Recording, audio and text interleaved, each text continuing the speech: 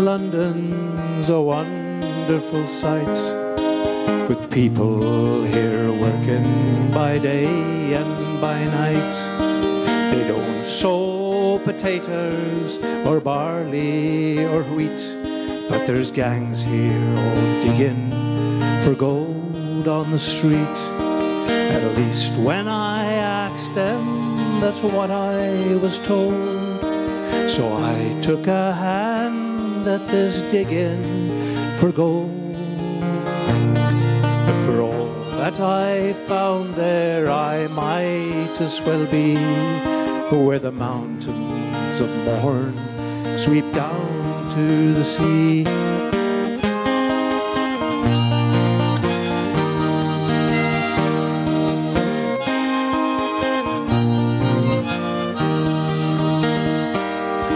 I believe that when writing a wish you expressed was to how those fine ladies in London are dressed.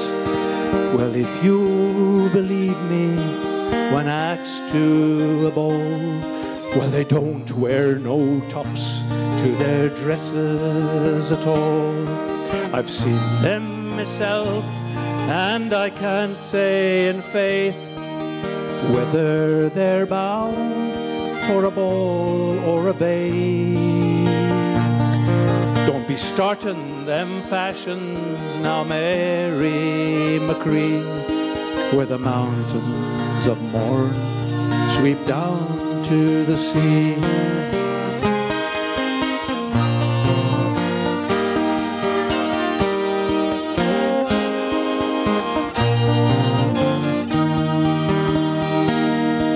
I've seen England's king from the top of a bus. I never knew him, though he means to know us. And though by the Saxon we once were oppressed, still I cheered, God forgive me, I cheered with the rest. And now that he's visited Erin's green shore, we'll be much better friends than we've been heretofore. When we've all got all we want, we're as quiet as can be where the mountains of Mourne sweep down to the sea.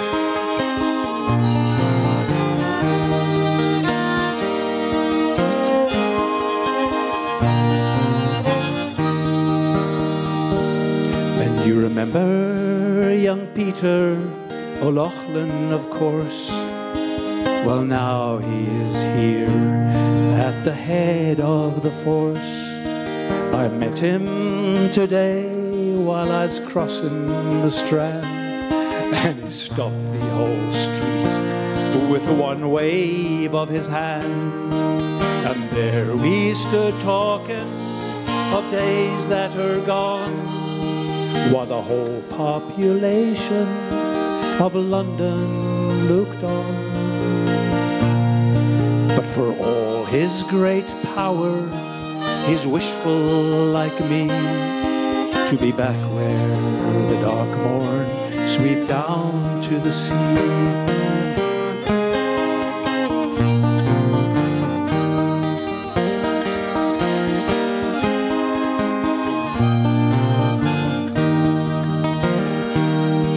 And there are beautiful girls here, oh, never you mind, with beautiful shapes nature never designed, and lovely complexions of roses and cream. But O'Loughlin remarked, with regard to the same, that if at them roses you'd venture to sip, the color of it all would come away on your lip. So I'll be waiting for the wild rose that's waiting for me. Where the mountains of Mourne sweep down to the sea.